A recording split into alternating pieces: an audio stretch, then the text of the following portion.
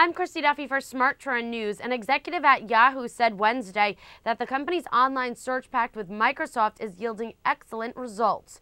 The two companies are currently running tests to integrate Yahoo and Microsoft's platforms. However, Yahoo Senior Vice President Mark Morrissey said that since the testing is still in its early stages, the companies cannot yet tell whether they will be able to launch the transition in the United States and Canada by the end of 2010.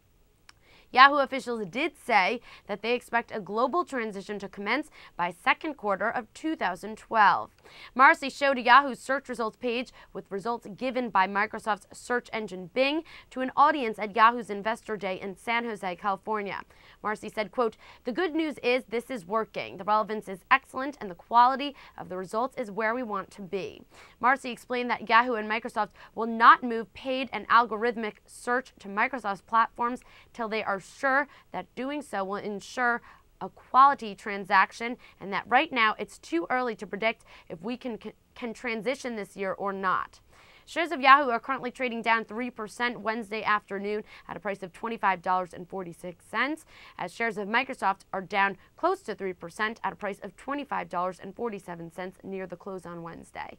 I'm Christy Duffy for Smart Trend News. For more on this report, visit our website, tradethetrend.com. For more news and market analysis, subscribe to our YouTube channel, Trade the Trend.